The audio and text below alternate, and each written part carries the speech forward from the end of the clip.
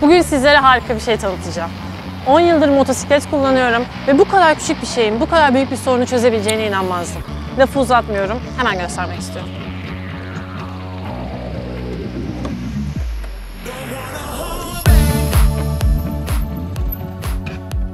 Şu an 40 derecelik bir eğimdeyim. Motorum yokuş aşağı bakıyor. Ellerim frende. Bıraktığım an kayar. Ama bu küçücük buluş tek bir parmak hareketiyle bütün meseleyi çözüyor. Artık eller serbest. İstersen telefonla ilgilen, istersen yemek ye. Hatta o kadar ince düşünerek tasarlanmış ki sürüş esnasında avuç içinize gaz verme imkanı bile sağlıyor.